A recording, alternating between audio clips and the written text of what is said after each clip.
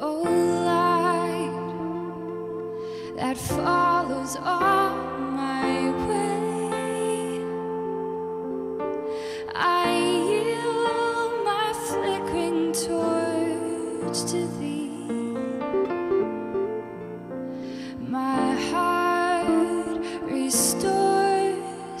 It's far.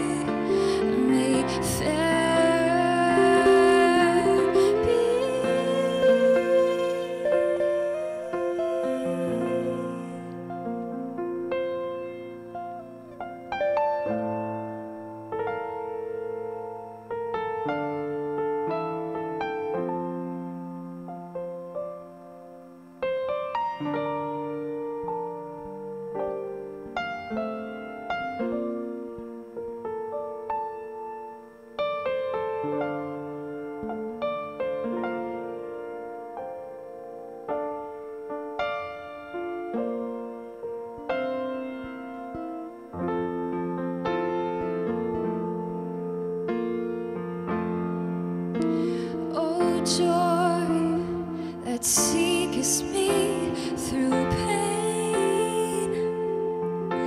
I cannot close my heart to thee. I.